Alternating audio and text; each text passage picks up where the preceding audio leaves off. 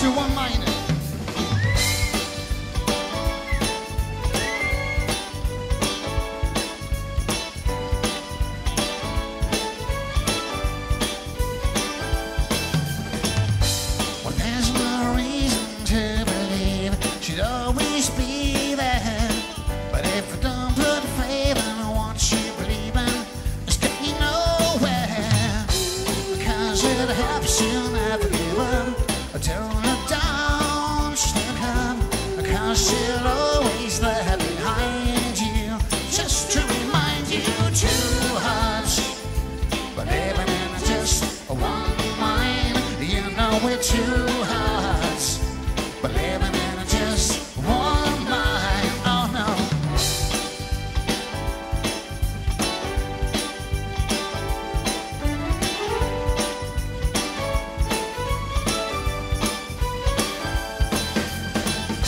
Well, there's no easy way to to understand it. There's so much about